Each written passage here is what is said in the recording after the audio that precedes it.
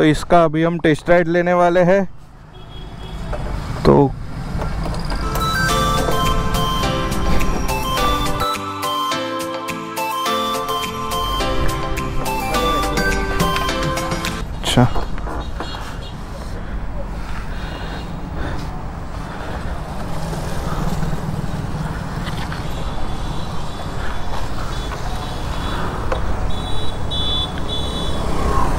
तो आप देख सकते हो कि फ़िलहाल अभी मैंने तीन नंबर के सेटिंग पे अपना सेट किया हुआ है।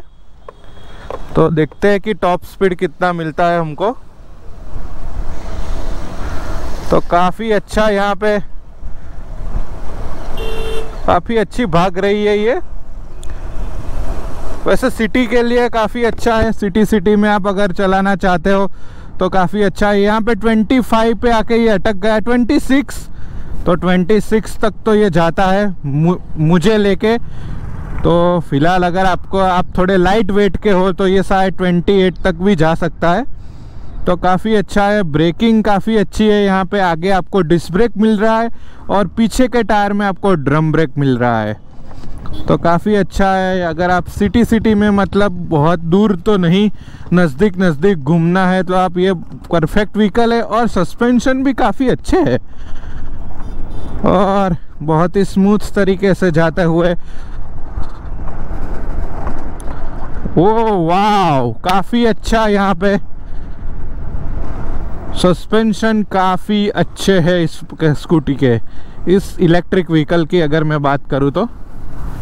काफ़ी अच्छा सस्पेंशन है। आप देख सकते हो कि मैं बहुत ही इजीली इसको चला रहा हूँ। और यहाँ पे थोड़ी ढलान। और फिर से हम लोग इसका टॉप स्पीड देखेंगे। तो 22, 23, 25 तक ये जाता है। 26 गुड गुड काफ़ी अच्छा है ये। और अभी मैं मोड चेंज करके भी आपको दिखाता हूँ। तो ये हमने खड़ा कर दिया। तो अगर दूसरे मोड पे अगर मैं चलाता हूँ ये यहाँ पे आप डिस्प्ले पे देख सकते हो कि ये दूसरा मोड यहाँ पे लिखा हुआ आएगा। यहाँ पे स्पीड दिखा रहा है। तो दूसरे मोड पे अगर मैं दिख चला रहा हूँ व्हीकल को तो 16, 17, 18,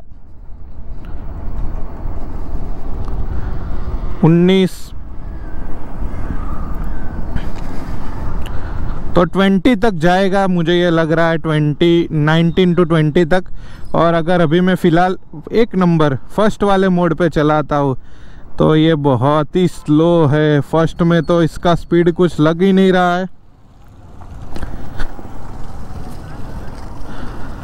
तो फ़र्स्ट मोड पे चलाना इसको इतना वर्थ इट नहीं है, क्योंकि 10 की स्पीड से तो आप ज़्यादा तेज़ चल सकते हो। तो तीसरे मोड पे डाल के ही भगाना सही रहेगा इसको। काफ़ी अच्छा है यहाँ पे, आप देख सकते हो कि पाँव भी अच्छे तरीके से मैं रख सकता हूँ। तो काफ़ी अच्छा व्हीकल है और सस्पेंशन मुझे इसके काफ़ी अच्छे लगे जो पीछे के सस्पेंशन है वो काफ़ी स्मूथ है। और आगे के टेलीस्कोपिक सस्पेंशन है इसमें तो वो भी काफ़ी अच्छे है। ये हॉर्न हमारा, वो भी काफ़ी अच्छा है। तो 55,000 में ऐसा व्हीकल लेना काफ़ी अच्छी बात है। और अगर रेंज की मैं बात करूँ तो 75 किलोमीटर तक ये चार्ज सिंगल चार्ज में चलेगा। मतलब फुल चार्ज होगा तो 75 किलोमीटर तक आप इसको चला सकते हो। और लोडिंग कैपेसिटी इसका 120 किलो है। तो वो भी अच्छा है कोई दिक्कत नहीं है। तो थर्ड मोड इसका बहुत ही ज़्यादा परफेक्ट है। बहुत ही फाड़ू स्पीड में हम लोग जा सकते हैं। मतलब कि नियर बाय आपको कहीं जाना है, दूध वगैरह लेने या फिर सब्ज़ी वगैरह ख़रीदने या फिर स्कूल कॉलेज ट्यूशन के लिए जाना है तो काफ़ी अच्छा है। ऐसे ये स्टूडेंट व्हीकल ही है। तो अगर आप स्टूडेंट हो तो आपको अगर आप गुजरात से हो और स्टूडेंट हो तो आपको इसमें बारह हज़ार का बेनिफिट भी मिलेगा। गुजरात गवर्नमेंट की तरफ़ से आपको सब्सिडी मिलेगा। तो काफ़ी परफेक्ट है ये। और अगर मैं चार्जिंग टाइम की बात करूँ तो एक एक डेढ़ घंटे में इसका फुल चार्ज हो जाता है। और यूनिट कंजप्शन की बात करूँ तो एक या दो यूनिट इसका कंजप्शन होता है। तो ये भी काफ़ी अच्छा है। दो यूनिट में आप 75 किलोमीटर तक का राइड कर सकते हो। तो काफ़ी कंफर्टेबल तो है ही साथ में। आपको काफ़ी किफ़ायती भी रहेगा इस महामारी में।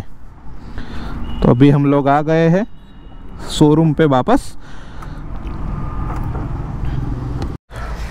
तो इसका ये ऐसे की आता है। अगर मैं वायरलेस की की बात करूँ तो यहाँ पे आप देख सकते हो कि अनलॉक का ऑप्शन यहाँ पे दे रखा है। तो अगर मैं इसको प्रेस करूँगा तो यहाँ पे ये ऑन हो गया है। सॉरी अभी ऑन नहीं हुआ।